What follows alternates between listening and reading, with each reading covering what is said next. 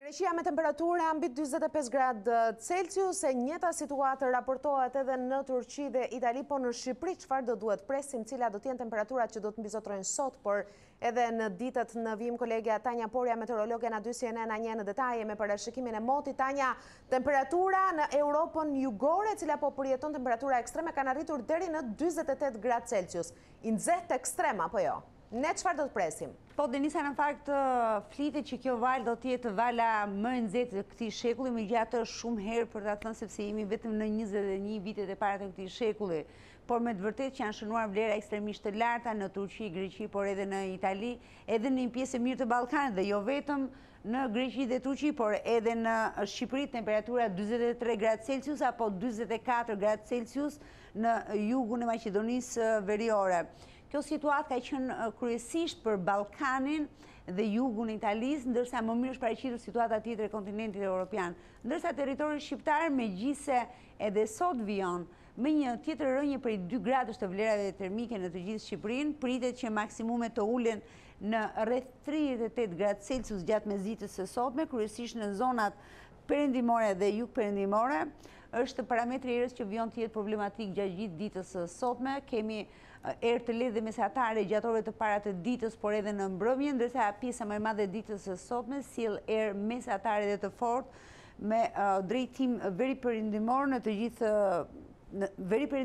territorin shqiptar dhe më e fuqishme era bëhet kryesisht në brigjet e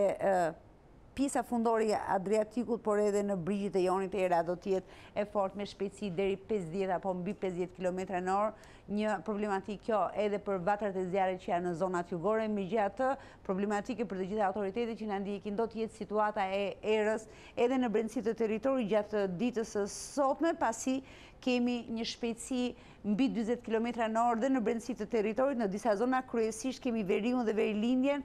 akoma më problematike paraqitet situata në Republikën e Kosovës me parametrin e erës ku era do të jetë deri gjashtëdhjetë kilometra në orë në një pjesë të mirë të orëve të ditës së sotme në të gjithë territorin e Kosovës, prandaj të gjitha ato zona të cilat kanë një risk të lartë ndaj zjarreve do të ishte mirë që të merreshin masa paraprake. Reshje nuk priten gjatë ditës së sotme, ndonjë rrebesh i izoluar në skajin krejt në veri të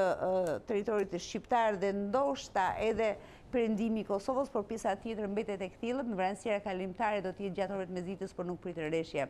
Gjatë ditës së nesërme kemi një rritje të lehtë të vlerave termike, po ashtu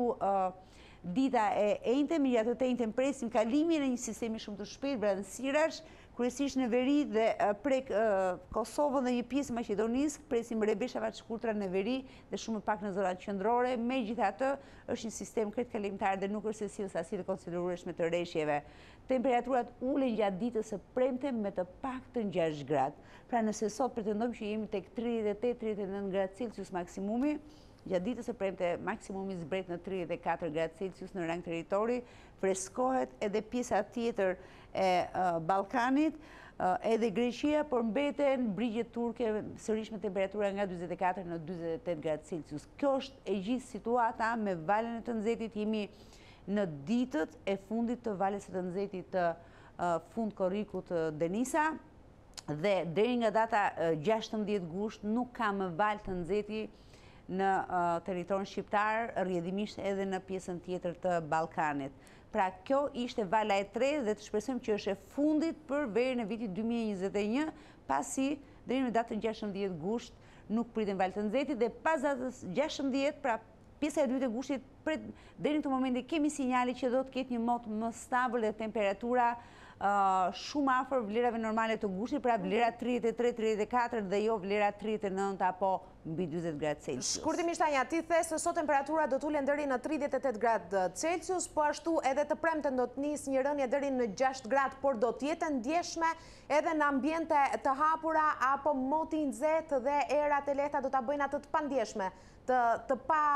të papërfillshme le të themi. Jo, sot nuk është se ndihet shumë rënia e temperaturave Denisa, pasi kemi qenë për një periudhë shumë të gjatë kohore nën ndikimin e temperaturash shumë të larta, megjithatë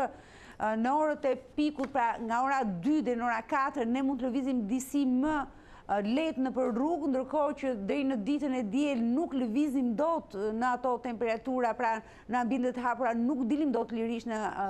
ambiente të hapura, Thamë që e mërkura sjell një rritje të lehtë, po ashtu e enjtja ngjit sërish temperaturat në rreth dyzet apo dyzet e një gradë celsius dhe ditën e premte rënia është e ndjeshme, kemi një rënie me dy gradë në mëngjes, por mesdita e së premtes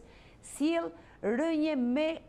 pesë apo gjashtë gradë të vlerave termike, që do të thotë do jemi në kuota tridhjetë e katër tridhjetë e pesë, temperatura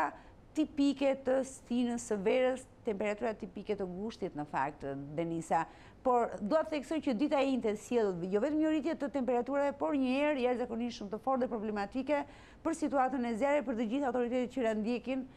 Duhet që të marrin masa sot edhe nesër që dita e enjte të jetë,